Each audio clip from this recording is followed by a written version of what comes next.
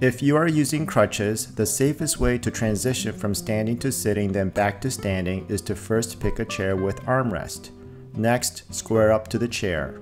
Make sure you have your balance, then place both crutches on your involved side. Now, hold on to both hand grips while reaching back for the chair's armrest with the other hand. It may help to put the involved leg out slightly when you are in transition. You should sit on the edge of the seat then scoot back. To return to standing, simply reverse the process.